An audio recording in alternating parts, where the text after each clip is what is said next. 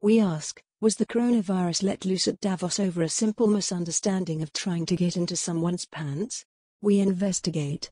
We are getting reports that hottie Priyanka Chopra may have been the cause of the biologically engineered coronavirus being unleashed on the world by China.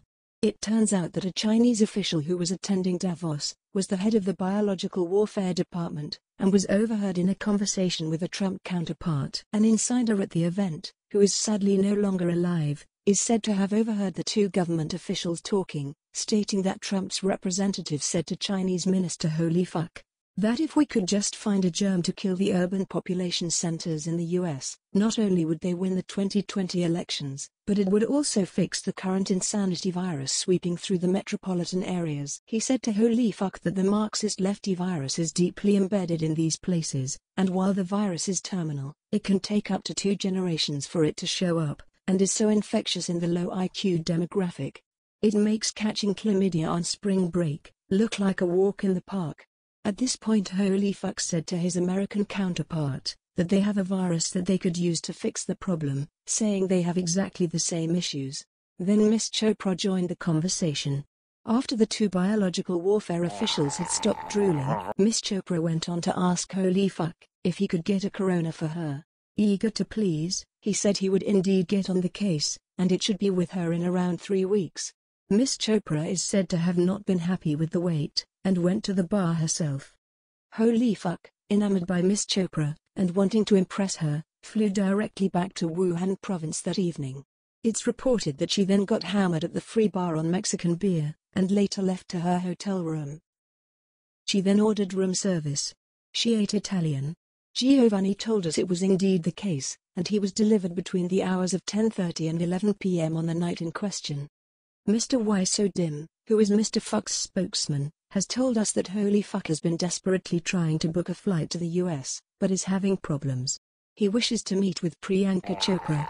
He said in an email to her, that he'll bring her all the corona she wants, if he could just have a few hours of her time.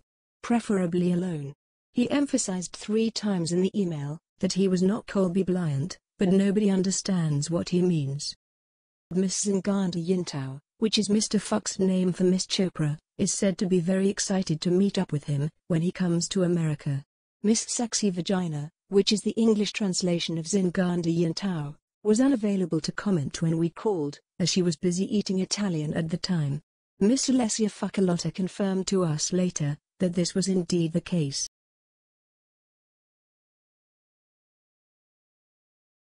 In other news, another hottie, Deepika Padukone held a press conference at Davos about something. At this point in time it's unsure what the press conference was actually about, as all the journalists present, 45 male and 2 female, all left the meeting in a stampede, before she'd uttered a single word. The reason is unclear as to why this stampede of pond life happened, but whatever it was, every journalist ran out to the restrooms, shouting I'll be back in five minutes. With the exceptions being the female reporters who were heard saying, make that 10 minutes, for fuck's sake. George Soros also made a speech at Davos that went largely unreported, mainly due to the fact he is now probably senile, and anything he said was utterly ignored. It was the same old tired speech, blah blah blah blah, climate change, sexism, open borders, and also some other retarded shit. He was pressed later about the contents of his speech by a journalist. He was asked, Why do you think you're still relevant, Mr. Soros?